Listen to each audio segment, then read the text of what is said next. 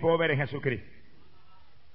Y hermanos y amigos, dice la Biblia, Evangelio según San Mateo, capítulo 26, verso 30, que en aquella noche memorable, cuando el Señor ministró la Santa Cena a sus discípulos, después de ministrar aquel glorioso sacramento, dice que cantó el himno con los discípulos. Oye, qué lindo el Señor cantaba himno también. Alabe lo que Él vive. Por eso es que nuestras iglesias cantan himnos y los himnos son tan bendecidos por el poder de Dios, porque Cristo mismo también y sus discípulos cantaban himnos. Después de cantar el himno, se movieron hacia el monte de los olivos. Y según caminaban, Jesús le dijo a los discípulos, en esta noche todos ustedes se van a escandalizar de mí. Le dijo, porque escrito está que heriré al pastor y las ovejas del rebaño se dispersarán. Bendito el nombre de Jesús. Dice cómo lo que esté escrito tiene que cumplirse de cualquier manera. Jesús que conocía la escritura en una forma tan grande, bueno, él mismo la escribió, alabe lo que él vive. Se movía por la palabra todo el tiempo, por la palabra. Es un secreto gigante para nosotros que queremos bendición grande de Dios. Escrito está. Ahí está la verdad, la escritura. Ahí está lo que no va a fallar jamás en cumplirse, la escritura. Él mismo lo dijo en una ocasión. El cielo y la tierra pasarán, pero mis palabras no pasarán ciertamente. Gloria sea a Dios. Por eso que nuestra confianza no está en hombrecitos, ni está en religiones muertas, ni está en líderes religiosos, está en la palabra de Dios que es infalible. Alabado sea Dios y ahí está la fe, alabado sea Dios de los que nos movemos en este glorioso evangelio. Gloria al nombre de Jesucristo. Escrito está que heriré al pastor y se dispersarán las ovejas del rebaño. Sea bendito el Señor Jesús. Ahora, esta tarde mientras yo oraba y meditaba en la palabra del Señor, el Espíritu de Dios me mostró algo que nunca me había mostrado mientras yo estoy 27 años que llevo predicando el Evangelio. Me mostró eso que tú ves ahí, sucede igualmente cuando Satanás logra herir a algunos de mis pastores, que cuando los hiere, multitudes de las ovejitas del rebaño también se dispersan. Señor me dijo, por eso, por eso habla esto en esta noche, que el ministerio del pastor es un ministerio tan decisivo, tan importante. Es decisivo que cada pastor esté cuidadosamente alerta en este tiempo postrero. Y me mostró, porque vienen ataques, ataques violentos, ataques mortales contra multitudes de mis pastores. Porque el diablo sabe que cuando los hiere a ellos, puede que el pastor se caiga, y es uno. Pero multitudes de las ovejas también son heridas y se dispersan y se deshacen. No todo el mundo está tan firme que se cayó el hombre y él sigue para adelante. No, no hay gente que se cayó un líder y ellos se caen también. Usted tenga cuidado. Si se cae un líder, usted no se caiga. Si se cae un pastor, usted no se caiga. Si se cae el evangelista, usted no se caiga. Porque hay alguien que no se cae. Y ese es Cristo Jesús, que es el que salva. Ese no se cae nunca. Alabado sea Dios. Y aún el que se cae, si se agarra de Cristo, se levanta también. Gloria sea Dios. Sea bendito el Señor Jesús. Y el Señor me mostraba esto esta tarde. Me dijo, dilo, porque yo amo a mis pastores y quiero que en esto en este tiempo corto que queda, tiempo postrero en que estamos, ellos estén cada día más firmes y más agarrados de mí. Que vienen ataques, ataques decisivos, peligrosos. Y el Señor me dijo, y, Dios, y el diablo va a usar especialmente mujeres para atacarlo. Mi alma te alaba, Jesús. Cada pastor, cuídese. Que está en su, en su iglesia, tiene su rebaño. No todas las hermanas están en el Espíritu. Y hay mujeres en las iglesias que no le importa un pito que usted se ha casado. Nada. Codicia cualquier cosa y hace cualquier cosa. Y hay ataque despiadado, brutal del diablo contra pastores que son hombres de Dios y hombres que tienen un rebaño en su cargo para herirlos a ellos para que también se dispersen muchas ovejitas y se pierdan y se vayan a la eterna condenación. Así que es la época que tenemos que agarrarnos de Dios como nunca antes y especialmente lo que tenemos un ministerio, que tiene el ministerio de pastor, que es un ministerio tan decisivo. Para mí el ministerio del pastor es el ministerio más importante, porque se pueden convertir aquí mil, dos mil almas y si no hay pastores que las alimenten, ¿dónde van esas almas? En una semanita están fuera todas. En una semana están perdidos otra vez todos. Que sí que el ministerio del pastor es el que sostiene vivo el fruto que pueda traer una campaña evangelística. Es los que alimentan hasta que al final volemos con el Señor para el cielo. Yo sí que la época de buscar a Dios. Si estamos firmes, si estamos firmes en la oración, estamos firmes en el ayuno, estamos firmes en la palabra, estamos firmes en la comunión con Dios, puede venir el diablo con lo que venga y nos le paramos encima en el nombre de Jesucristo. Alabado sea Dios. Pero esta no es época de acatarnos el lujo de descuidarnos. Si nos descuidamos en esta época, perecemos. Esta es la época más mala que jamás se ha visto. Y Cristo lo dijo. Cuando veáis todas las señales de mi retorno cumplidas, el Señor dijo, Lucas 21, verso 36, dijo, vela, alerta a las cosas de Dios.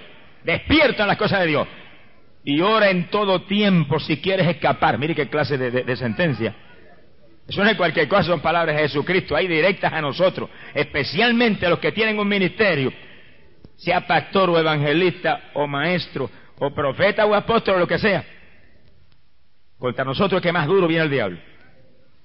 Pero si estamos firmes en Cristo, no hay quien nos pueda mover. Poderoso es el Señor para cuidarnos. Poderoso es el Señor para librarnos de los brazos de mujeres impías. Poderoso es el Señor para librarnos de toda trampa satánica. Pero tenemos que estar ahí, agarrados de Él, y humillados, y pequeñitos. Alabado sea Dios. Y ahí, en espíritu de alabanza y de oración y de clamor, y de comunión con Él y no hay poder del diablo que aplaque a nosotros. ¡Gloria a Dios!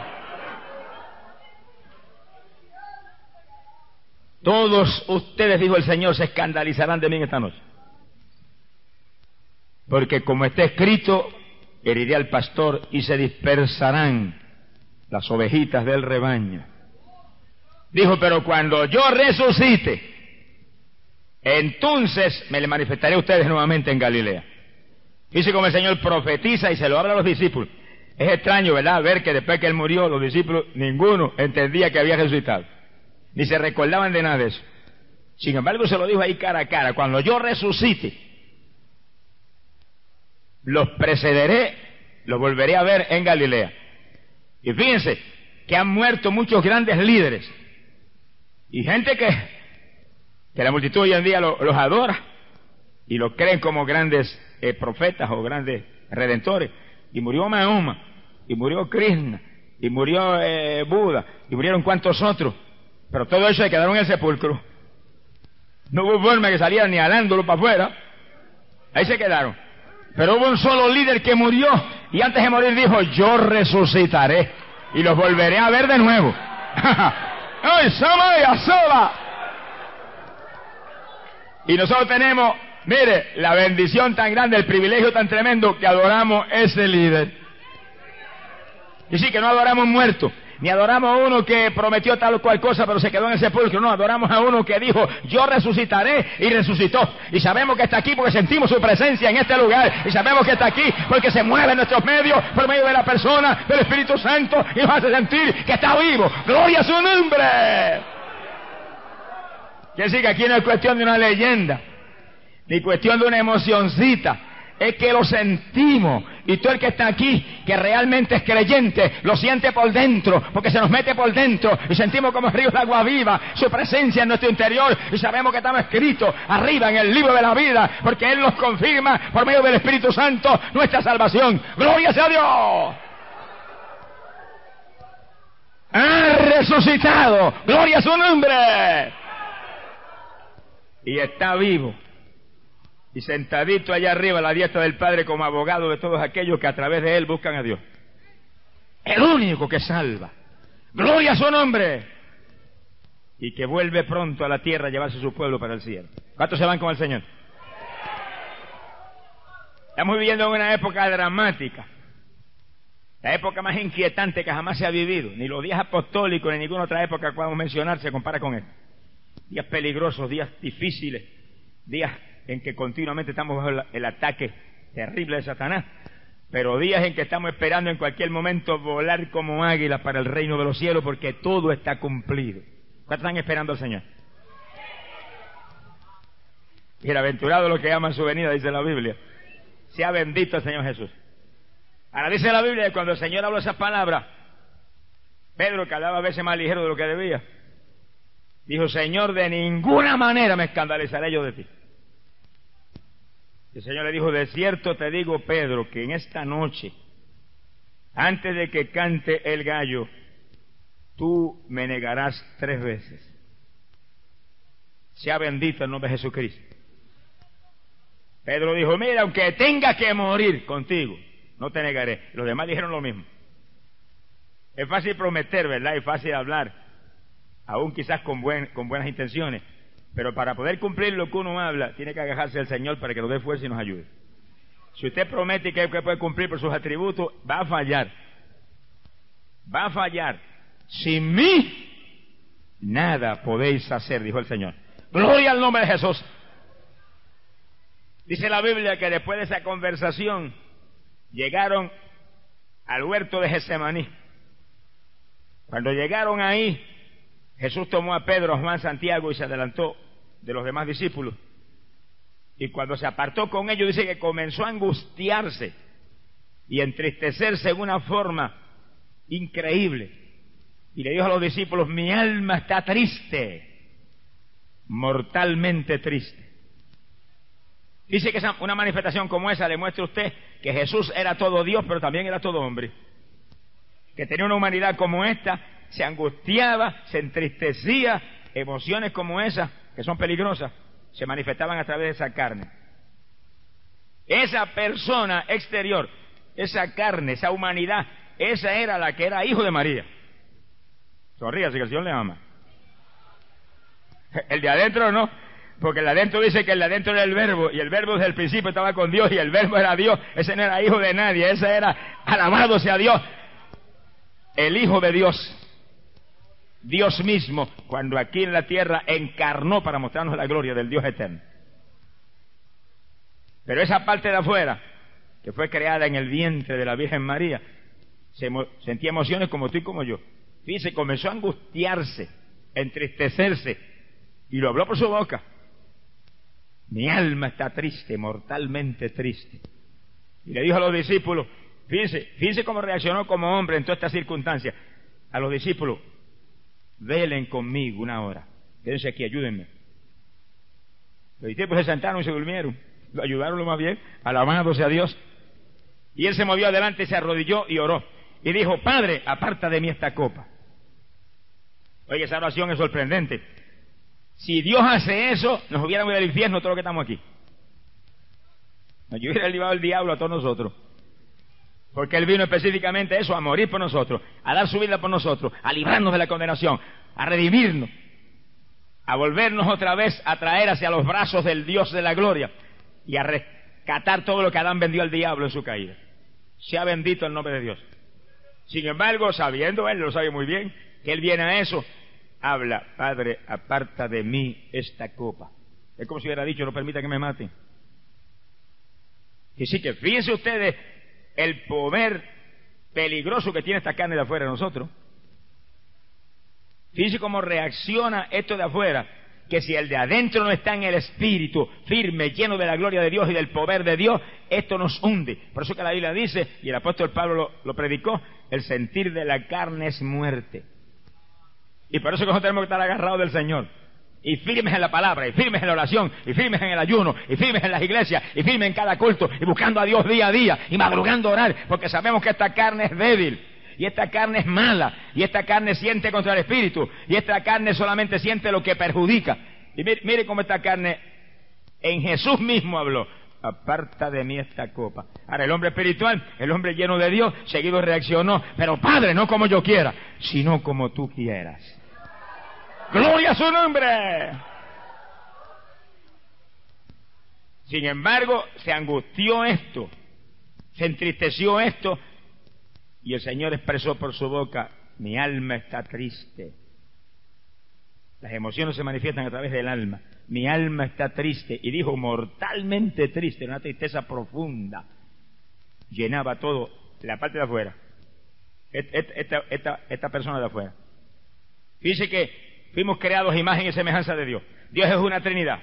Dios el Padre, Dios el Hijo y Dios el Espíritu Santo. Y nosotros somos una Trinidad también. Esto de afuera, el cuerpo, y dos personalidades adentro, alma y espíritu. El alma es una entidad espiritual. El espíritu Es un espíritu espiritual. Y el de afuera, visible y se puede tocar, físico. Igual que en la Trinidad de Dios. Dios el Hijo con un cuerpo físico. Y Dios el Padre y Dios el Espíritu Santo, personas espirituales. Lo que pasa es que Dios el Padre, Dios el Hijo y Dios el Espíritu Santo son una sola cosa, un solo Dios. Y nosotros, espiritual, mi cuerpo, somos una sola persona también. Uno solo. Uno solo. Usted es uno. Lo que pasa es que usted yo no lo veo, usted está metido ahí dentro. Está escondido ahí. Alabado sea Dios. Yo veo su cuerpo. Esto es lo único visible mío, el cuerpo. Y la única forma visible de Dios es Jesús, que tiene un cuerpo físico. La imagen del Dios vivo. Nos crearon a imagen y semejanza de Él. Bendito sea el nombre de Dios. Que si que usted no es cualquier cosa, el más pequeñito que está aquí, fue creado a imagen y semejanza de Dios. Por lo tanto, usted no le permita ni al diablo, ni a esta carne de afuera, ni a nada que lo domine, ni a nada que lo aniquile, ni a nada que lo destruye. Si usted fue creado a imagen y semejanza de Dios, usted tiene una voluntad poderosa y tiene inteligencia para dominar todo lo que el diablo traiga. Y cuando usted se llena de Cristo Jesús, usted se mueve en victoria aquí abajo. Alabado sea Dios. Bendito sea su nombre. Hay poder en Jesucristo. Y Jesús se movió hacia el frente, dejó a los discípulos, ayúdenme, velen conmigo. Y se fue hacia el frente y se arrodilló y comenzó a orar. Fíjese que él sentía una necesidad tremenda de oración en esa noche. Sabía que para dominar esta carne había que orar. Y de rodilla ahí clamó. Después que oró un rato, se puso de pie y vino a los discípulos a ver si estaban intercediendo por él. Y estaban dormidos los tres. Cuando los encontró dormidos, le sacó un grito a Pedro, Pedro, vela y ora para que no caigas en tentación. Mire la receta que el, Señor dejó escrita ahí, la fórmula de mantenerse vivo en, este camino decisivo del, del Evangelio. Vela, alerta, despierto en las cosas del Señor y ora para que recibas la fuerza de arriba para no caer en tentación. Sea bendito el nombre de Dios. Le dijo, porque el espíritu ciertamente está dispuesto, pero la carne es débil. Y él mismo confiesa por su boca, la carne es débil, tan débil que dijo, Padre, aparta de mí esta copa. Que dijo, estoy triste, mortalmente triste. Ahora, el espíritu está dispuesto, si el Espíritu está dispuesto, si está lleno ahí, abrazado con el Espíritu Santo ahí dentro, si está ahí bajo el poder de Dios, si está lleno de la gloria de Dios, siempre toma dominio de la carne. Ahora, cuando la carne domina, usted está muerto espiritualmente. Esa es la situación del pecador. La Biblia dice que el pecador está muerto, muerto en su pecado. Está muerto. Porque el que domina es la carne. Y el sentir de la carne es muerte. Pero cuando el pecador viene a Cristo, y oígalo todo el que está aquí que no ha aceptado a Cristo, todo el que está aquí que está en pecado, cuando el pecador viene a Cristo, el Señor lo perdona, y el Señor entra en el corazón de ese pecador, y la luz de Cristo alumbra, enciende ese espíritu, y el espíritu viene a ser lo que dice la Biblia, antorcha de Jehová dentro del hombre, a una antorcha encendida, usted viene a ser luz del mundo, viene a ser realmente sal de la tierra, viene a ser alguien que domina la carne y domina al diablo y lo pone bajo sus pies, alabado sea Dios, por lo tanto, sin Cristo no podemos sobrevivir, sin Cristo no hay forma de que podamos salvarnos. Gloria a su nombre. Ahí te ve la diferencia entre Cristo y una religión. Usted conoce y yo conozco montones de religiosos que tienen religión hace 20 años y son los mismos. Los mismos, no han cambiado nada. Sin embargo, usted conoce gente que se convirtieron hace 5 o 6 días y están llenos del Espíritu Santo y han recibido una transformación increíble. ¿Por qué? Porque entró el Señor dentro de ellos. Es decir, que la religión no puede hacer nada. Cristo lo hizo ya en la cruz. En la cruz Él compró vida para nosotros. En la cruz compró poder para nosotros. En la cruz nos dio autoridad total contra el diablo. En la cruz nos dio toda la voluntad que necesitamos para dominar la carne y dominar a Satanás y movernos en victoria. Tanta es la fuerza que nos da que dice la Biblia que el que vive en Cristo no peca. Porque la simiente de aquel que mantuvo a Cristo aquí sin pecar nunca está sembrada también en nuestros corazones. ¿Cuántos tienen ese Cristo? Y los que no lo tienen se lo llevan esta noche. Para eso usted está aquí. Entiéndalo, amigo. Dios lo trajo aquí a salvarlo. Dios lo trajo aquí a darle vida. Usted sin Cristo no podrá sobrevivir y menos en esta época tan mala y peligrosa en que vivimos. Medio de esta generación torcida que respira muerte y juicio, usted perecerá, amigo querido. Pero si viene a Cristo, ya no hay condenación para los que están en Cristo Jesús, porque la ley del Espíritu de vida que está en Cristo nos libró de, de la ley del pecado y de la muerte. ¡Glorias a Dios! En Cristo hay ley de vida. En el pecado hay ley de muerte. Sea bendito el nombre de Dios. El Señor conocía todo eso muy bien. Sabía que esta carne era peligrosa y estaba ahí de rodillas orando. Pero si Jesús tuvo que hacer eso en un momento difícil como aquel, ¿cuánto más nosotros, hermano? Todo Dios estaba en él. Sin embargo, él tuvo que tirarse y orar. Y cuando vienen los discípulos los encuentra dormidos, los reprende. Levantaos y orad para que no caigáis en tentación. Ahí nos dejó la receta grande para mantenernos vivos en este camino peligroso y terrible. Por eso que no podemos descuidar en la oración. Mire, la gente que se han caído en el Evangelio. Gente que predicaba y gente que, ganaba alma, que yo conocí. La única excusa que tienen es me descuidan la oración. Es la única excusa, me descuidan la oración. Había demasiado responsabilidad, demasiada correspondencia, demasiado visitación, demasiadas cosas. Todo eso es parte del ministerio. Pero primero es nuestra comunión con Dios. Primero es nuestra preparación espiritual. Primero es la oración. Primero levántese tempranito por la mañana y ore. Y como usted ha logrado dos o tres horas y esté ahí bien lleno, bien firme, bien consciente, salga entonces y desayúnese para de afuera. Salga entonces y visite los hogares. Salga entonces y haga todo lo demás que tenga que hacer. Pero mientras usted no está ahí lleno de la bendición, con oración abundante, no se mueva para afuera, que lo está esperando el diablo afuera. Alabado sea Dios. Y a Bendito sea el nombre de Dios. Nunca olvido una vez que el Señor, yo estaba apartado en ayuno, el Señor me habló y me dijo, antes que los programas de radio, antes que las campañas, antes que ninguna de las actividades que he puesto sobre tus hombros, está tu comunión conmigo. Tu vida en comunión conmigo, tu vida de oración, tu vida de clamor. ¿Por qué eso? Pues sabe el Señor muy bien con que usted trabaje todos los días y se revienta haciendo mil cosas. Si usted no mantiene su vida espiritual y desciende espiritualmente, lo corta el diablo en cualquier momento. Y los creyentes que están en las iglesias tienen también que orar y clamar para mantenerse vivo. La oración, mire, es sinónimo de fortaleza espiritual. ¿Y por qué la oración fortalece tanto? Porque la oración usted habla con Dios. Sencillito, si usted habla con Dios, y Dios está al lado suyo, pegadito a usted, y usted dialogando con Él y hablando con Él, se le pega lo de Dios. Alabe lo que Él vive. Es como si hace como Eva y habla con el diablo, se le pega lo del diablo también. Sonríase, que el Dios le ama.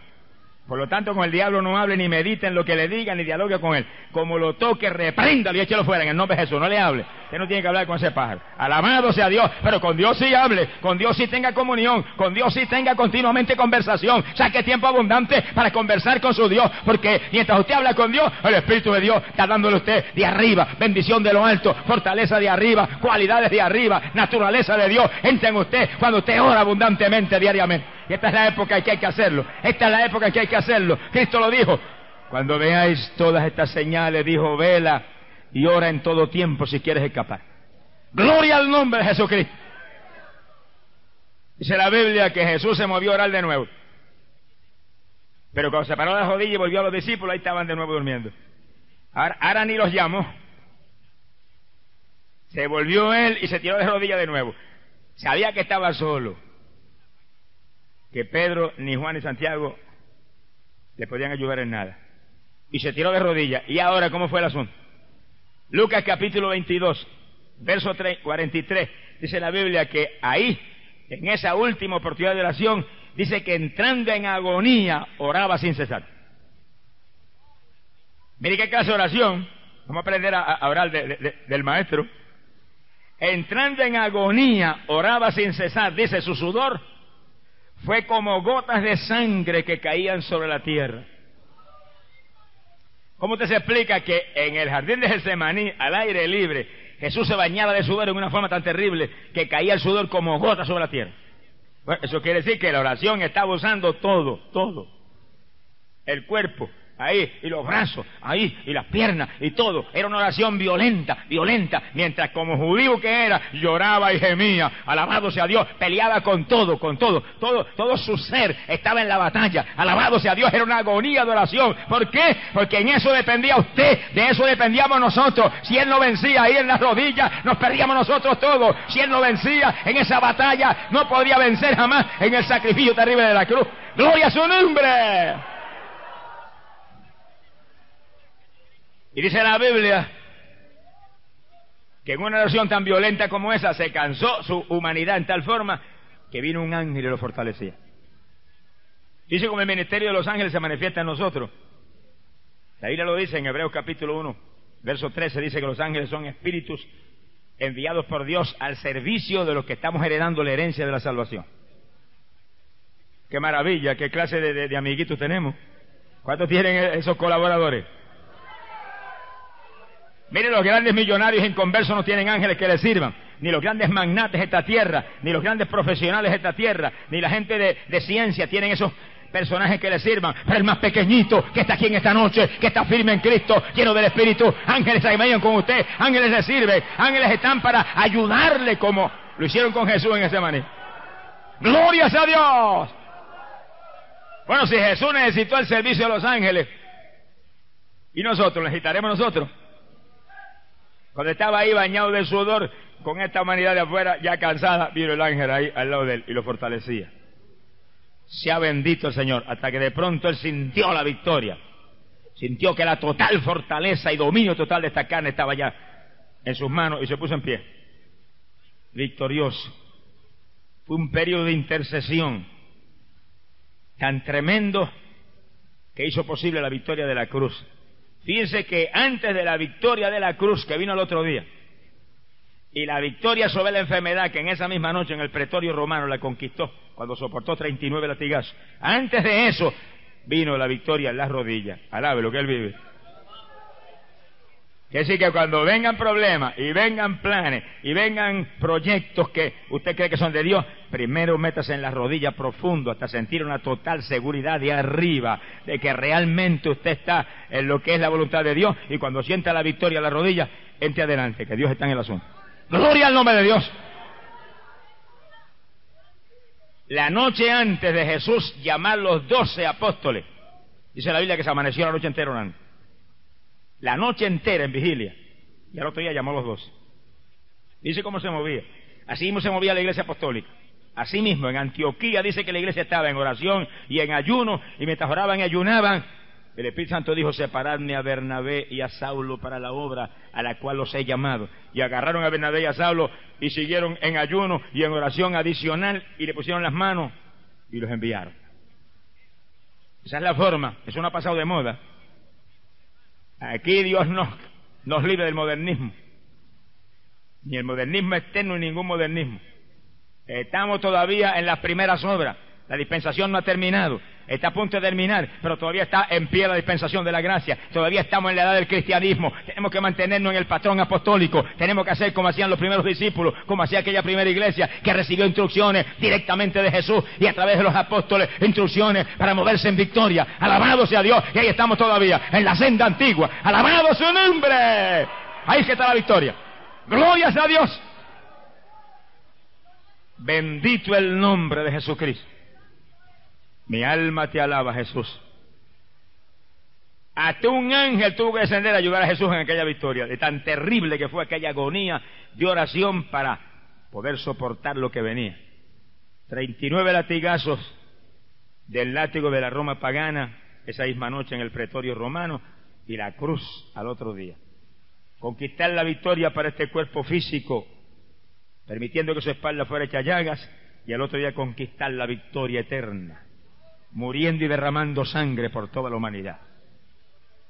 Amigo, usted que está aquí en esta noche, oiga bien, fíjese bien, por eso es que nadie más le puede salvar, nadie más le puede librar, nadie más le puede perdonar, nadie más le puede reconciliar con el Dios con el cual usted está en enemistad por su pecado. Nadie más le puede dar victoria. Solo Cristo pagó ese precio tan terrible, tan profundo. Ese precio, Dios mío, de agonía, de muerte, de sacrificio, de dolor, de desprecio. Alabado sea Dios. Nadie más puede hacer nada por usted. Él lo hizo todo ya. Todo está hecho. Todo está hecho. Es cuestión de venir a Él, decidirse a vivir para Él, y el que a Él viene, Él dijo, no lo echo fuera, porque yo he venido a buscar y a salvar todo lo que se había perdido. ¡Gloria a Dios! Realmente que se siente uno triste cuando uno ve la pobre humanidad clamando a través de criaturas y buscando ídolos y buscando cuantas vanidades aquí abajo, como decía el apóstol Pablo, o sea, de esa vanidad y creen en el Dios vivo, después de lo que Cristo hizo por nosotros. Y la Biblia dice que Él no comparte su gloria con nadie, con nadie, ni con criaturas, ni con estatuas, ni con muñecos de ninguna clase. Él es único. Y cuando se establezca su reino aquí, Él será rey sobre toda la tierra y único será su nombre. Alabado sea Dios. Dios puso todo su poder, toda, toda su, su voluntad, toda su gloria sobre ese Hijo, Jesucristo nuestro Salvador.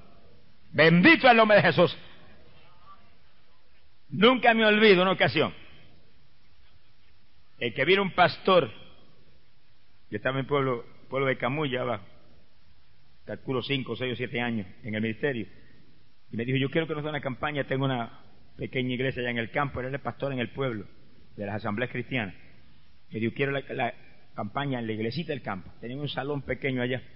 Me dijo, hermano, tiene que entender que es para levantar el asunto, porque lo que tenemos son como tres miembros, y el que no masca fuma, alabe lo que el Señor le ama. Yo dije, no tiene nada entonces. Me dijo, sí, pero creemos, Dios le ha hablado, ha hablado a mi esposa, me ha hablado a mí, que nos va a dar una bendición a Yo le dije, bueno, yo me voy a, yo voy a orar a Dios y Dios me muestra. Pues vamos a la campaña. Y entonces yo recuerdo que cuando comencé a orar sentí algo y lo llamé de nuevo. Le dije, mire, yo quiero que el domingo, después del culto de la iglesia, usted venga con su esposa aquí y nos metamos en vigilia, usted y su esposa y mi esposo y yo. Y ahí, nos, si nos amanecemos, nos amanecemos, para clamar, para que Dios nos muestre que nos va a mostrar.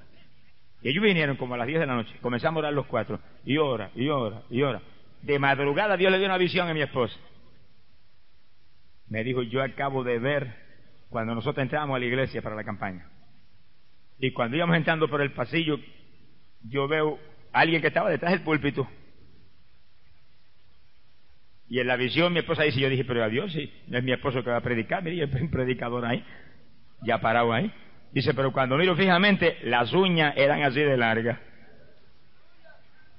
Yo le dije, mi hijo, la campaña es de Dios, pero ese diablo que está entronizado ahí, hay que romper esa atadura, si no salimos trasquilados de ahí. Mi alma te alaba, Jesús. Hay que romper primero los yugos del diablo. Hay que conquistar la victoria en las rodillas, después nos metemos. Y Dios no falla en hacer lo que, lo que hemos creído. Gloria a su nombre. Entonces yo se lo dije al pastor, le dije, mire, hermano, esta visión es del Señor y la campaña es de Dios. Vamos para allá. Pero dice usted y su esposa orar y ayunar, que yo me voy a cerrar en ayuno unos días. Bueno, y me cerré en una habitación en casa en ayuno y dije, Señor, de aquí no salgo hasta que tú no me hables y me digas que tengo la victoria ahí. Me cerré. Y aquella habitación tenía solamente una puerta y no tenía ninguna ventana porque ahí habíamos puesto un aire acondicionado y, cerraba ahí todo. Así que yo dependía del airecito aquel. Y cuando pasó el primer día de ayuno, el aire se dañó. Y entonces se le metió un diablo lo que pasó, pero se dañó. Alábe lo que Algo pasó. Y hacía un calor que aquello era terrible. Y yo estaba bañado de sudor. Yo dije, Señor, ayúdame, que yo te dije que no salía de aquí hasta que tú no me mostraras la victoria. Y me voy a deshidratar si tú no me ayudas. Y ahí estaba llorando, y llora y clama, y bañado sudor, que aquello era una cosa horrible. Y recuerdo que en uno de los días en que yo estaba a punto de salir, que no resistía más, si no me ayuda voy a tener que salir, le dije. Siento a alguien que entró en la habitación. Y cuando sentí la persona que entró, yo me quedé tenso, estaba de rodillas así, y tenía una camisetita puesta. Ni eso soportaba. Y siento cuando la persona se paró detrás de mí y me puso la mano en la espalda. Y cuando me puse la mano en la espalda, según yo oraba, la persona hablaba y decía, por Jesús. Y yo seguía orando y él, por Jesús. Y yo oraba y él, por Jesús. Y el Espíritu de Dios me mostró, es un ángel que está aquí para fortalecer. aquí la jaya. Y yo sentí una fortaleza y una seguridad y una confianza que bañó su hora así, seguí hasta que amaneciendo Terminando el cuarto día en el ayuno, amanecí el quinto día, oí de madrugada que el Señor me dijo, sal y entrega mañana que tienes la victoria. Yo salí. Mire, si aquel ángel no me ayuda, yo no hubiera aguantado los cuatro días allí jamás. Porque cerraba una habitación que no tiene alguna puerta y está cerrada, porque yo le prometí al Señor no salir de allí hasta que no. Y no había ventana. Y el aire se dañó. Si no es por aquel ángel, jamás hubiera tenido la victoria. Cuando yo salí, fuimos a la campaña, mira hermano, el barrio entero vino a la campaña. Es un campo allá en, está muy arriba. No quedó espiritista que no vino a la campaña, no quedó católico que no vino a la campaña, no quedó persona, mire que no vino. Aquello, algunos no se atrevían a entrar, ni podían entrar porque la iglesita que había como 50 personas adentro. Alabe lo que él vive. Pero afuera, por la ventana y por todos lados era aglomerado. Y ahora eso parecería poca cosa, pero en aquellos días era, era lindo. Como 40 personas aceptaron al Señor que llenaron la iglesia. Y Dios utilizó muchos de ellos en, en la semana que tuvimos ahí. Quiere decir que cuando se conquistan las victorias en las rodillas, alabado sea Dios. Cuando uno entra en la batalla, ya el diablo está derrotado. Y mire, fíjense lo que Dios hace cuando se ora y se ayuna y, hace uno lo que hizo Jesús. Tuvo que hacerlo en ese maní. Se convirtió una mujer ahí que fue una mujer que prácticamente me escribió a mí. Era la adoradora de ídolos más grande que yo conocí en mi vida. Esa le prendía vela a San Antonio, a San Pancracio, a San Pascual Bailón y a cuanto diablo se inventaba Satanás aquí abajo. Y cuando yo me convertí que le fui a predicar, me botó la casa. Y mire que aquella me amaba. Y esa noche en esa campaña se convirtió. Y cuando pasó una semana de ella haberse convertido, fue a visitarme a casa. Me dijo, tuve una experiencia anoche que se me erizaron los cabellos. Y dije, ¿qué, pasó? ¿Qué te pasó, mija? Me dijo, de madrugada fui despertada y oí a los perros que ladraban en las parcelas. Y dije, bueno, lo más que hay perros ahí que ladran siempre. Me dijo, no, no, no, ladraban, pero cuando ladraban yo sentía un escalofrío y un temor terrible. No eran perros cualquiera. Y de pronto los ladridos se volvieron palabras en español.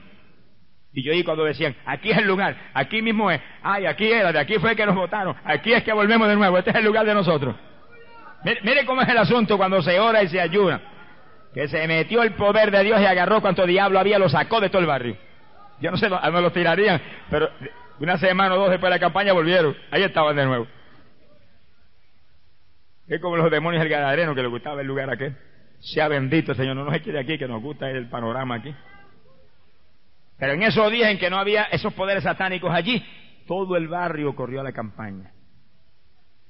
Que sí que en la vida espiritual nuestra y en la vida espiritual de cada hermano, usted tiene que tener una vida de oración y una vida de clamor y ayunar conforme Dios le dirija para que haya victorias continuas. No estamos hablando solamente de la victoria de una campaña, es la victoria espiritual en su vida espiritual. Todo creyente tiene que dar fruto, todo creyente tiene que testificar, todo creyente tiene que ganar alma, todo creyente tiene que invitar a los vecinos y los amigos y los familiares y traérselos para su iglesia, para que se salven y sean bautizados y sean llenos del Espíritu y también escapen. Alabado sea Dios de los juicios que vienen. Gloria a Dios. Bendito sea su nombre. Jesús nos dio el ejemplo. Él mismo tuvo que orar en agonía aquella noche para darnos la victoria de los siglos a todos los que hoy en día ponemos nuestra fe en su nombre. ¿Cuántos tienen ese Cristo en su corazón? ¿Cuántos son propiedad privada de Jesús? ¿Cuántos atreven a levantar la mano y decirle, yo soy tuyo, tuyo? Soy propiedad tuya. Soy tuyo, tuyo, solamente tuyo. A nadie, ¡ay, Sama, Sama! A nadie más pertenezco, a ti nada más. Gloria a Dios. Sea bendito el nombre de Dios. Hay poder en Jesucristo. Dice la Biblia que cuando el Señor terminó esa batalla y se acercó a los discípulos dormiditos, y volvió el Señor y los despertó, levántense, oren, para que no caigan en tentación. Le dijo, y avancen que ahí está cerca, a punto de llegar el que me entrega. Los discípulos se levantaron y ahí apareció Judas, con un tropel de gente armados de palos y de espadas, a apresar al Señor. Dice que Judas le había informado a la gente había dicho, aquel a quien yo le diera el beso, ese es él, apresarle. Bueno, el asunto de Judas es una cosa inquietante. ¿Quién llamó a Judas? Jesús lo llamó. Lo ungió para echar fuera demonios, para sanar enfermos y para anunciar el reino de Dios. Tres unciones tenía. Iba con otro porque los enviaba en pareja. Iban por la casa, ungían con aceite los enfermos y los sanaban. Y ahí estaba Judas, en ese asunto.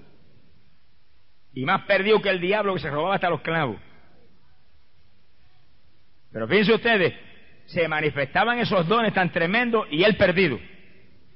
Y seguía robando. Y sin embargo Jesús lo permitió. Y oiga esto, ni siquiera, ni siquiera le mencionó a Pedro ni a Juan la condición de Judas. Porque en la noche en que él ministró la Santa Cena, cuando dijo, uno me va a vender, ninguno sabía. Si hubieran sabido que era un ladrón, que Jesús se lo hubiera dicho, ah, ese pillo es el que te va a vender. Nadie sabía nada. ¿Y qué es lo que hay ahí? Mire, hay algo ahí de una profundidad gigante que tenemos que aprenderle en Puerto Rico. La isla dice, líbreme Jehová de tocar sus ungidos. Y Judas era un ungido del Señor. El mismo Señor lo ungió. Y el propio Señor atrevió a tocarlo. El asunto es serio. Cuando David tuvo a Saúl, que estaba más perdido que el diablo, y que buscaba a David para matarlo, y que estaba lleno del poder de Satanás, y lo tuvo delante de la lanza, ahí a punto, no se atrevió a tocarlo. David no se atrevió a tocarlo. Dijo, líbreme Jehová de tocar su ungido. Y, y Saúl estaba perdido. Vendió a Satanás en todo sentido. No lo tocó por nada. Siguió andando y reprendió a los soldados de él que lo estaban instigando. Mátalo, aprovechalo ahora que lo tienes ahí. Jehová te lo entregó. Eso mismo sucede hoy en día en Puerto Rico. Gente instigando a otros para que toquen los ungidos del Señor. Y si el ungido del Señor está mal delante de Dios, como estaba Judas y como estaba Saúl, no lo podemos tocar aunque esté mal. Lo que hay que orar y clamar, y si lo podemos llamar y ajustarlo acá en privado, lo hacemos. Porque si lo tocamos públicamente vamos a escandalizar la obra de Dios y vamos a escandalizar los pecadores y vamos a hacer un escándalo cuando se supone que nosotros somos una sola familia. Alabado sea Dios. Líbreme Jehová de tocar sus ungidos. Ni Jesús se atrevió a tocar a Judas. Pero a la larga siempre los alcanza el juicio de Dios. Siempre. Y la noche que ministró Jesús la cena, Judas perdió como estaba, participó de la cena. Y el que participa de la comunión indignamente come y bebe juicio, dice la Biblia. La última fechoría que hizo fue esa. Esa misma noche se lo llevó el diablo. Jamás tuvo oportunidad. Jamás tuvo oportunidad. Ahí se lo llevó Satanás y se fue. Y ahora aparece en escena con un ejército, con palos y espadas. Al que yo bese, ese es él. Lo apresan a vender a su, a su maestro. Sea bendito el Señor Jesucristo. Fíjense que Jesús le dio tres años y medio de oportunidad ahí oyendo doctrina, oyendo palabra de Dios, viendo milagros de todo tipo, viendo el ejemplo que Jesús le daba. Tuvo oportunidades. El Señor le da oportunidad a todo el mundo. Le da oportunidad a todo el mundo. No la aprovechó. Al final de la carrera se lo llevó Satanás. Yo he conocido montones de hombres ministrando así, así, perdidos en adulterio, años y ministrando y echando fuera demonios y sanando enfermos y con don de, palabra de ciencia y perdidos ministrando y la gente salvándose. ¿Cuántos se salvarían en el ministerio de Judas que está en el cielo y Judas en el infierno? Qué, qué cosa tremenda, qué clase de ironía un apóstol en el infierno. Quiere decir que no se salva uno por tener ministerio.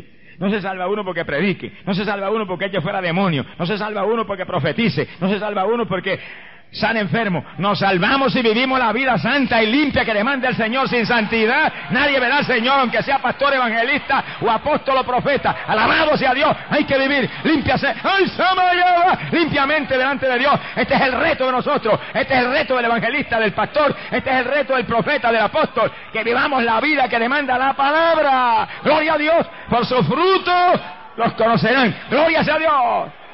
Eso es decisivo. Usted no se haga ilusiones. Porque usted sea evangélico, usted sea pentecostal, usted tiene que vivir la palabra. No se haga ilusiones. Porque usted sea y tenga la posición que tenga en su denominación, nada de eso salva. Se salvan los que están viviendo la palabra. Sea bendito Señor. Para el rapto es lo mismo. ¿Cuándo se va en el rapto? Eso dijo, los que guarden la palabra de mi paciencia, eso libraré. Y así que es un reto para nosotros cuidar nuestra vida espiritual. Cuidarnos. Y si usted ve que hay algo en usted que no le gusta, no se atribule, tírese al piso y llore un ratito y Señor, perdóname, ten misericordia de mí, me arrepiento, ayúdame, dame fuerza para moverme limpiamente. Y Dios le ayuda. Para eso fue que Él murió en la cruz. Para ser nuestro ayudador, ser nuestro salvador. Sin Él nada podemos hacer. No hay quien se salve sin Cristo, nadie, no hay quien se salve. Glorias a Dios. Bendito sea el Señor Jesús. Y Judas llegó y lo abrazó y le dijo, salve maestro, y lo besó. Jesús le dijo, amigo. Fíjese, el amor que había en el Señor. Amigo. No me diga usted que eso fue, eso una hipocresía, no. Jesús no... Yo soy santo. Sea bendito el Señor Jesús. Los discípulos serán semejantes a mí, semejantes a Él. Gloria al nombre de Jesús. Que pudo amar aún al que lo viene a entregar, entregándolo para la muerte. Amigo a lo que viene. Pero Pedro no sentía así todavía. Pedro más, luego sintió también como el maestro. Pedro sacó la espada y le cortó una oreja al siervo de sumo sacerdote. Se la sacó de raíz. Y cuando Pedro le cortó la, oreja al sumo sacerdote, Jesús le dijo, Pedro, guarda la espada, porque los que viven por la espada, por la espada perecerán. Oiga eso. Y dijo, soporten esto todavía, dijo, y agarró la orejita del, de la persona y se la pegó. ¿Qué clase de cirujano es el maestro? Alabe lo que él vive. Le hizo un injerto en un segundo. Que sí que ni siquiera permitió que uno que le viene a apresar y le viene a llevar a él hacia la muerte, le cortaran una oreja. Y delante de los discípulos dio ese ejemplo de amor. Soporten esto y le puso la orejita en su sitio. Pero a Pedro lo, menos, lo amonestó agriamente. Pedro, los que vivan por la espada, por la espada perecerán. Sea bendito el nombre de Jesucristo.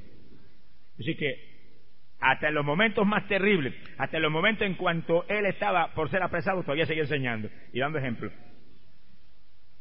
Ese es el reto para nosotros. Alabado sea Dios que en la prueba, en las dificultades, en las luchas, en las tribulaciones, en las zozobras más grandes, en, las agonías más grandes, tenemos que estar alerta a dar ejemplo, alerta a ser una bendición para los demás, alerta a, predicar la palabra, enseñar la verdad de la Biblia. Gloria sea Dios para que seamos como el Maestro nuestro. Gloria sea Dios. Bendito su nombre. Hay poder en Jesús. Dice la Biblia que ahí los que venían con Judas apresaron a Jesús. Cuando la apresaron, el Señor dijo, Pedro, no puedes intervenir con espada porque lo que está escrito por los profetas tiene que venir al cumplimiento. Si yo no permitiera esto, dijo, ¿cómo se cumpliría la palabra que vino por la boca de los profetas? Y ahí los discípulos huyeron y lo dejaron. Bendito el nombre de Dios. Se quedó solito y se lo llevaron para casa de Caifás, el sumo sacerdote. Y cuando iban hacia casa de Caifás, Pedro a la distancia lo fue siguiendo.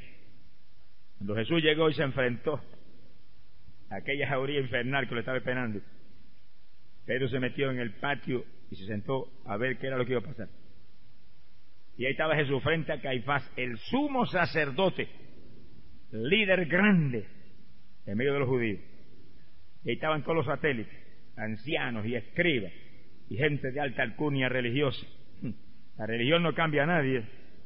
Cuídese, no se deje engañar por disfraz religioso, ni por vestidura religiosa, ni por alcurnia religiosa, que algunos de los religiosos más grandes han sido los criminales más grandes que han existido. Sea bendito el nombre de Jesucristo. Y ahí dice que buscaban, buscaban razones para matarle. Y buscaban testigos falsos que lo acusaban de algo que le pudieran probar para matarle. No le importaba que el testimonio fuera falso ni nada. Mira a lo que llega un religioso lleno de odio y lleno de celo. Eso es lo que sucede hoy en día también. Hay religiosos que llenan de odio, se llenan de celo, hacen cualquier cosa. Cualquier disparate. No le importa. Ahora, el que ha nacido de nuevo, el que está lleno del Espíritu Santo ni se llena de, celo, ni se llena de odio, ni se llena de rencor. Está lleno del amor de Dios, porque el amor de Dios ha sido derramado en nuestros corazones por el Espíritu Santo que nos ha sido dado. Alabado sea Dios. Por eso, amigo, usted que está aquí en esta noche, amigo querido, a usted que Dios lo trajo aquí, usted que es un invitado de honor aquí en esta noche, entiéndalo, amigo, solo Cristo salva. Venga Él en esta noche, amigo, sálvese. Escape por su vida. Pronto será tarde, amigo. Pronto, pronto la puerta se cerrará. Todo está cumplido. Pero en esta noche usted está aquí para ser salvado, amigo querido. Y Jesús solamente puede cambiar su vida. Mientras usted no sea transformado por dentro primero y por fuera también, mientras usted no se ha transformado, amigo querido, no puede entrar jamás al reino de los cielos. Sea bendito el nombre de Jesucristo. Y aquella gente buscaban ahí cualquier cosa, cualquier alternativa para condenar. De pronto aparecieron dos testigos. Le hemos oído decir que puede destruir el templo y reconstruirlo en tres días. Y estaba todo el mundo, pero no podían probar ninguna cosa. Entonces Caifás se puso de pie. Le dijo, pero ¿qué contestas a lo que te acusan? Jesús no dijo una palabra. Dice que si alguna maravilla había en el Señor es que hablaba en su tiempo. No hablaba fuera de tiempo. Pedro hablaba en cualquier forma y en cualquier tiempo y en cualquier momento y a toda velocidad y por eso cometía tantas equivocaciones. Pero Jesús tranquilo. Y ese dice esto, y ese dice aquello, y, él nada, ni una palabra. Y cuando Caifás le pregunta, ¿qué hace? ¿Qué contesta a lo que te acusan? Nada, no contestó una palabra. Se ha glorificado el nombre de Dios. Pero Caifás entonces le dijo, te conjuro por el Dios vivo, que nos diga si es verdad que tú eres el Cristo, el Hijo de Dios. Entonces Jesús abrió la boca y dijo, tú lo has dicho. Mi alma te alaba, Jesús. ¡Ay,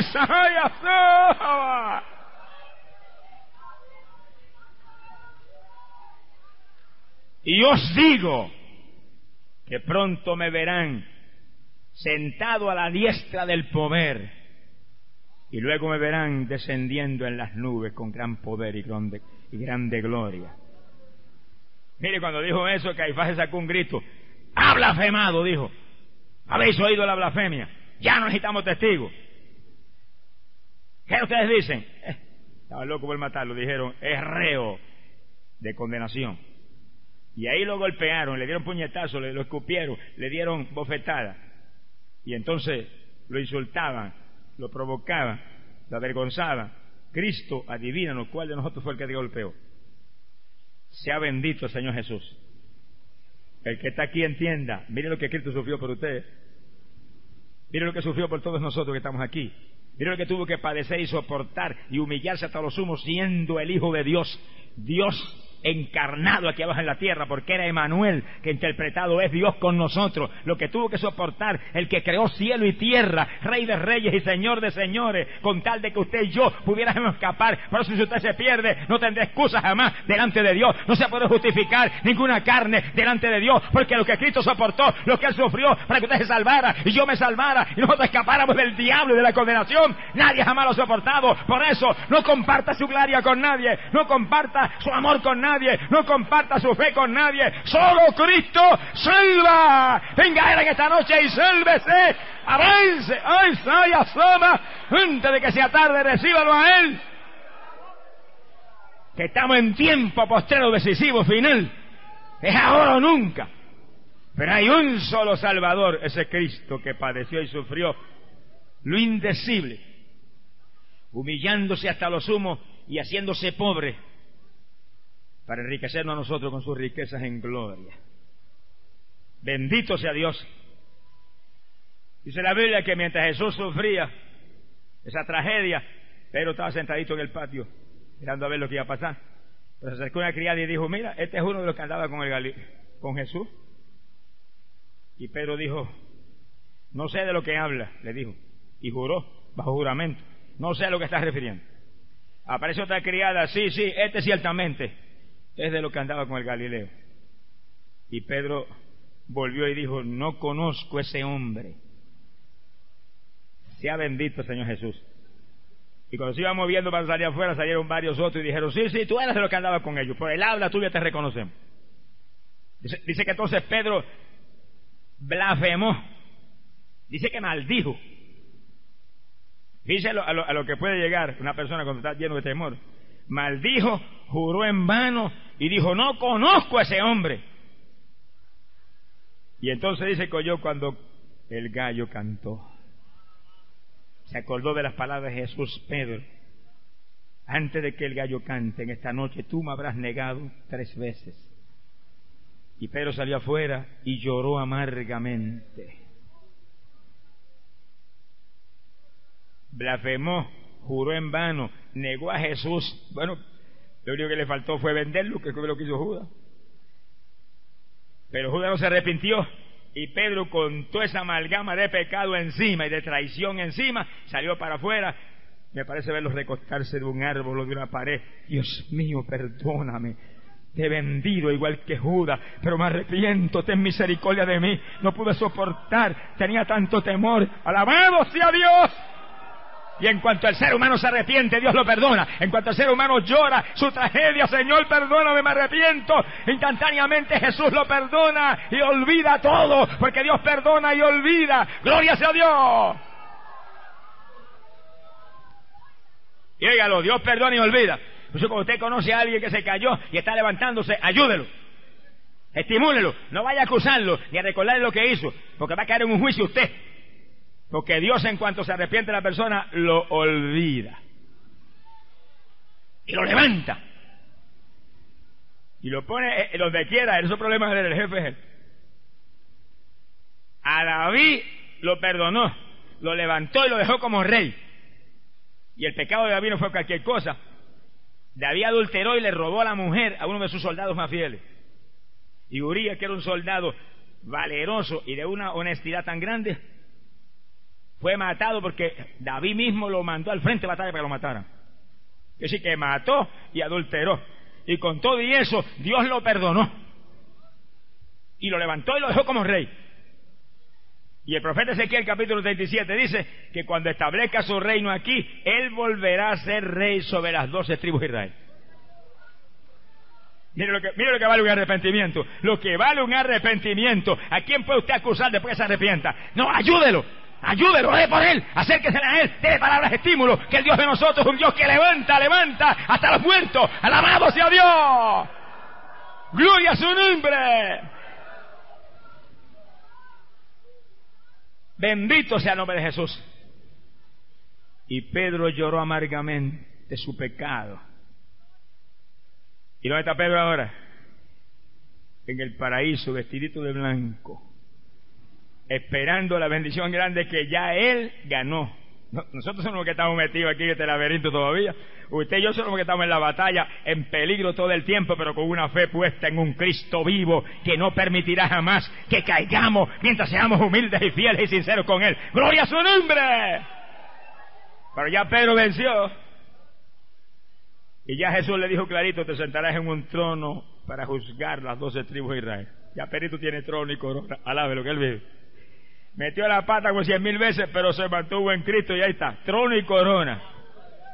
No tenía letra ni primer grado, rústico como poco, pero en Cristo hay victoria para los rústicos, en Cristo hay victoria para los blanquitos, en Cristo hay victoria para los negritos, en Cristo hay victoria para los cultos, en Cristo hay victoria para los incultos, en Cristo hay victoria para los grandes o para los pequeños, en una asociación de personas, el que viene a Él no lo echa fuera, el que lo busca lo encuentra, alabado sea Dios, reciba a Jesús, reciba a Jesús, Él te va a salvar en esta noche, ay yo, te va a salvar amigo en esta noche, te trajo aquí a eso, a salvarte, gloria sea Dios. Y cada amigo que está aquí en esta noche, oiga esto. Si Dios es capaz de perdonar un blasfemo como Pedro, que niega a Jesús cara a cara, que miente, que blasfema, que se atreve a gritar, no conozco a ese hombre. Y Dios es capaz de perdonarlo y levantarlo, como el apóstol principal en Jerusalén. ¿Qué no va a hacer contigo en esta noche, amigo amado, si tú vienes a Jesús y lo recibes? ¿Qué cosa? Que tú has matado, te perdona. Que eres un adicto a droga, te perdona y te liberta. Que eres un homosexual, te perdona y te liberta ese diablo. Que eres una lesbiana, te perdona y te liberta. Que es una prostituta, te perdona y te liberta. Alabado sea Dios porque Él murió por ti. Él te ama, no importa tu condición. Él te ama, Él murió por ti. Él te trajo aquí a salvarte. No te vayas perdido. No permitas que un diablo derrotado, mentiroso, te saque de aquí sin salvación. ¡Ay, Samalaya Sohaba! Que es noche de victoria para usted. Pedro falló aquella noche terriblemente. Pero falló, pero volvió a Jesús. No huyó, ni se colgó como Judas, que se envió al infierno él mismo. Falló, mintió, blasfemó, juró en vano, pero volvió a Jesús. Señor, de ti perdona mi bañado en lágrimas. Ahí mismo el Señor lo perdonó.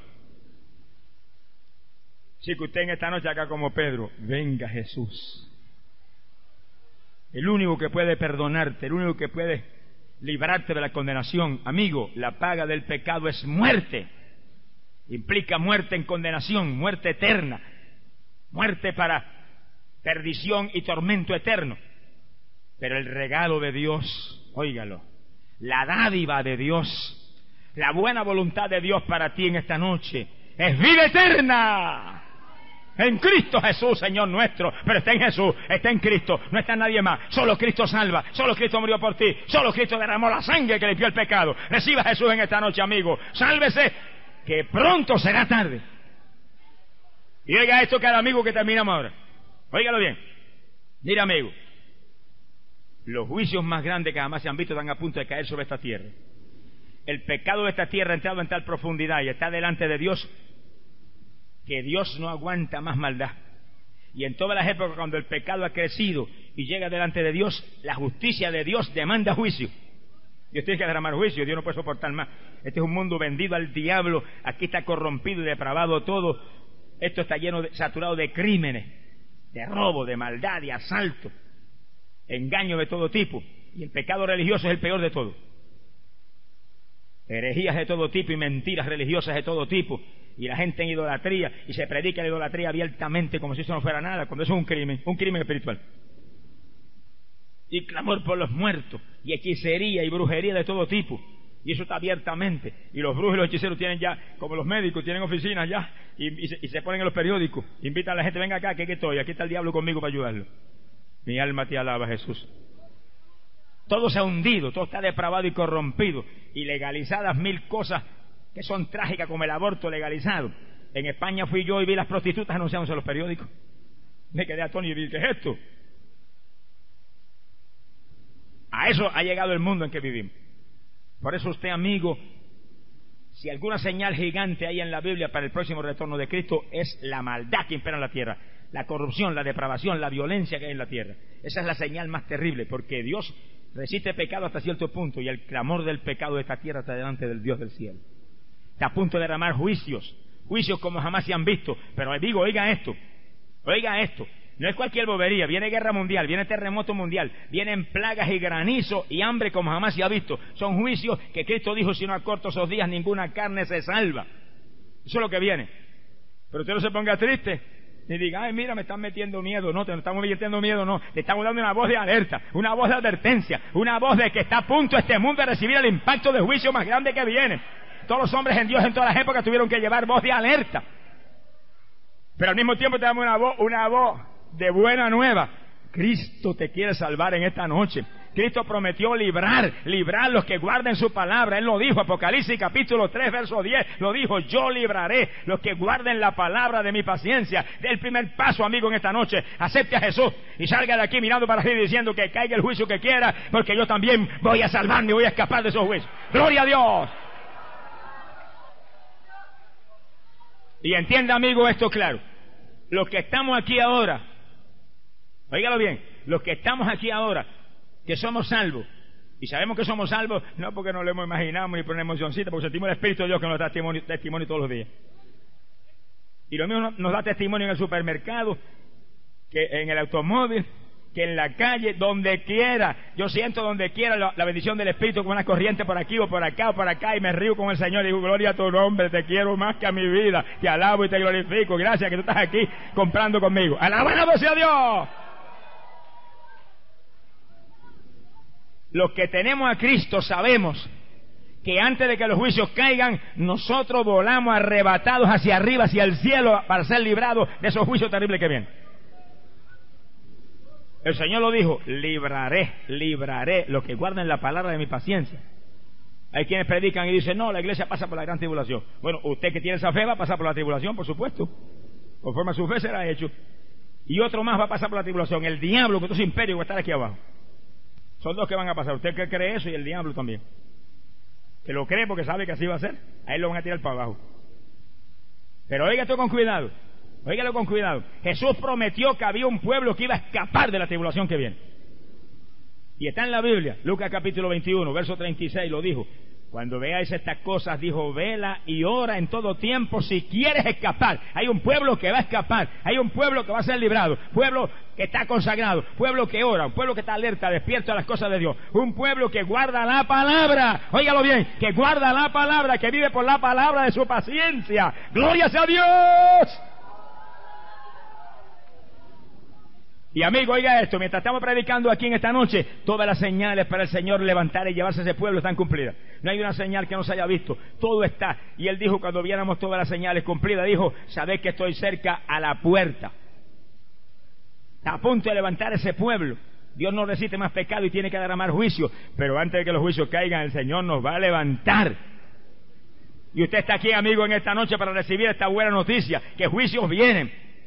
Muerte y tragedia viene como jamás se ha visto en esta tierra, pero usted está aquí como un invitado de honor, amigo. Usted está aquí traído por Dios para escapar. Dios quiere que usted escape y su familia escape y sus hijos escape, porque será salvo tú y tu casa. Alabado sea Dios, sus hijos serán benditos. Avance, amigo, y asama loba. Refúgiese en Jesús en esta noche. No se vaya sin Cristo de aquí por nada. Usted no está aquí por casualidad, a usted lo trajo aquí el Espíritu Santo en esta noche le invitaría un hermanito de amor, o lo invitaría al otro, lo traería tal persona un automóvil, pero el Espíritu Santo es el que realmente lo aló para acá. Es que hace la obra aquí abajo. Y lo trajo para salvarlo. Aproveche su oportunidad. Que antes, amigo, de que sea tarde, usted esté firme en Cristo y sea de los que vuele con el pueblo de Dios que se va para el cielo. Aquí no se va ninguna religioncita, ni se va ninguna secta tal o cual, se va el pueblo que está preparado, guardando la palabra, orando, buscando a Dios, lleno del Espíritu Santo, ese pueblo se va. Vírgenes prudentes, llenas las lámparas, llenas las vasijas, esperando al Señor, firmes en la palabra, volaremos para el cielo en breve. Antes quizás de lo que usted cree, todo está cumplido. Sea bendito el nombre de Dios. Por lo tanto, amigo, no lo deje para mañana, que mañana podría ser tarde. ¿Y para dónde nos va a llevar el Señor? Porque vamos a escapar. El juicio sobre este mundo no es sobre Sodoma, es sobre el mundo entero. Ahora son juicios para toda la tierra. Toda la tierra está perdida, corrompida, va a recibir el impacto de ira más grande que jamás se ha visto. Quiere decir que para escapar nos tienen que sacar del mundo. Oiga, qué bueno, gloria a Dios, qué buena noticia. Alabe lo que Él vive, que nos saquen de este mundito asqueroso. Así es. Primera de Tesalonicense, capítulo 4, verso 16, dice la Biblia que arrebatados en nubes volaremos hacia el aire al encuentro del Señor. Y así estaremos siempre con el Señor. Y mientras caen los juicios aquí abajo, estaremos nosotros arriba. En los aposentos celestiales esperando que la ira pase, porque nosotros los creyentes no fuimos llamados para la ira, sino para la salvación por medio de nuestro Señor Jesucristo. ¡Gloria a Dios! Y la Biblia dice que el justo no perecerá jamás con los impíos. Jamás Dios le dará el mismo tratamiento a los impíos que el que les da a los justos. Para nosotros hay vida, redención eterna. El pecador solo le espera la tragedia de que la paga del pecado es muerte. Pero en esta noche, amigo, usted viene a Cristo y usted pasa de muerte a vida. Porque en el segundo que viene a Cristo te perdona, te lava con sangre y automáticamente, automáticamente la sentencia de muerte es quitada porque la sentencia de muerte es por el pecado. Y en cuanto usted viene a Cristo, la sangre de Jesucristo limpia el pecado y la sentencia de muerte se disuelve. Y usted mira para arriba y dice, gloria a Dios que soy hijo tuyo. Estoy escrito en tu libro en el cielo. Me voy contigo también en breve para arriba. Alabado sea Dios. Gloria al nombre de Jesús. Mire, hermano, las cosas que está haciendo Dios en este tiempo, para alertarnos a nosotros los que, que creemos y alertar a la humanidad que no ha aceptado a Cristo, son realmente extraordinarias. Cuando yo llegué a Bolivia, el año pasado, por ahí por el mes de mayo y junio, recuerdo que el primer día que llegaron nos hospedamos en la ciudad de La Paz, un hogar de unos hermanitos, y esa noche hicimos un culto de oración en la casa. Y el dueño de la casa y su esposa tienen dos muchachitos una nena de 10 años y un nene de 9. Pero esos niños son llenos del Espíritu Santo. Los padres que están aquí oigan eso. La Biblia dice que en los últimos días, dice Dios, Hecho capítulo 2, verso 17, derramaré mi espíritu sobre toda carne. Dice, vuestros hijos y vuestras hijas. No dice qué edad, cualquier edad. Todos los padres reclamen a Dios que le bautice a sus niños. Aunque tenga un año de nacido, aunque tenga dos, dos años, aunque esté en el vientre de la mamá, y que se lo bautice en el vientre como a Juan el Bautista. Alabe lo que el Señor le ama. Pero esta es la época, derramaré mi espíritu sobre toda carne, y dice sobre vuestros hijos y sobre vuestras hijas. Y entonces dice, y profetizarán. Hijo de cualquier edad, hija de cualquier edad, jóvenes o niños, como sea. Eso es típico de este tiempo, que habría profecías de hijos e hijas llenos del Espíritu alertando sobre este tiempo decisivo. Y aquella noche cuando estábamos orando, yo recuerdo que orábamos y yo miraba a los nenes porque estaban orando en una comunión que aquello era maravilloso. Y la muchachita estaba recostada de la pared con las manitas así sobre la cara y yo veía la, profundidad de la comunión con que oraba. De pronto sentí cuando el Espíritu de Dios me dijo, pon la mano a la niña. Yo me acerqué, le puse la mano a la nena. Cuando le puse la mano, la muchachita cayó postrada al piso. Yo me quedé pendiente de la nena, pero sintiendo en mi espíritu que estaba teniendo una experiencia especial con Dios. Y cuando vi que ella comenzó a ponerse en pie, yo la ayudé a ponerse en pie y le dije, ¿qué experiencia tuviste? Me dijo, cuando yo sentí su mano en mi frente, sentí como que me iba y apareció una nube blanca y me envolvió. Y en la nube, yo no sé dónde me moví o dónde me fui, yo sé que estaba como fuera del mundo. Y me dijo, y sentí la voz del Señor cuando me habló. Clarita, ahí en mis oídos, me dijo, hija, tú no tienes tiempo de llegar a joven porque yo estoy a punto de ascender a levantar mi pueblo para el cielo. Y cuando aquella nena nos hablaba, mire, temblábamos toditos en la sala. En los últimos días, dice Dios, derramaré mi espíritu sobre toda carne, vuestros hijos y vuestras hijas profetizarán. Una niña de 10 años, gritándonos lo que enseña la Biblia, que cuando viéramos todas las señales, Él estaría cerca a la puerta estamos predicando en tiempo decisivo. Cuando yo salía para Europa en octubre, Dios me habló y me dijo, el año que viene te voy a dejar prácticamente casi todo el año en Puerto Rico para que lleves una voz de alerta a mi pueblo, que estoy a punto de levantar mi iglesia y hay un pueblo especial mío en Puerto Rico. Samaya, Esquiza. Todos tenemos un reto, hermano.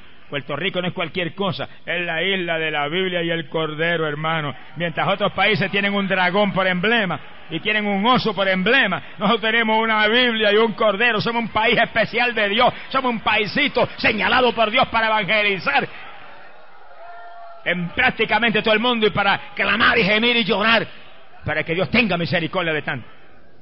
Y el pueblo de Dios tiene ahora un compromiso gigante con el Señor. Y el pueblo de Dios en Puerto Rico tiene que consagrarse ahora como jamás. Primero porque vamos a volar para el cielo en breve. Segundo porque nuestra intercesión va a ser posible que Dios salve los dos millones y pico perdidos que hay en este país. Sea bendito el Señor Jesús. Yo sí que cada hermano, mire hermano, yo no voy a hacer llamamiento a los hermanos, voy a hacer llamamiento a los que no se han convertido ya mismo. Pero cada hermano promete al Señor que usted va a consagrarse como nunca antes, que usted va a orar como nunca antes, que va a madrugar a orar, que se va a preparar para el rapto que viene, pero que su intercesión va a romper los yugos del diablo que están en los vecinos y en los amigos y en los familiares, porque es el tiempo decisivo. Alabado sea Dios, prometa al Señor que le va a hablar a los vecinos, que se los va a traer para su iglesia. Gloria a Dios, usted es un testigo de Jesús. Gloria a su nombre, usted es un testigo. Los testigos de Jesús son los que volaremos para el cielo. Bendito sea su nombre. Pronto será tarde, pero en esta noche la mano de Dios está extendida en este lugar para salvar y bendecir a aquellos que de corazón, de corazón se humillen al Señor. Amigo, te llama Jesús en esta noche. Amigo, toca tus puertas el Hijo de Dios. Y te dice el Señor en esta noche, porque yo soy el buen pastor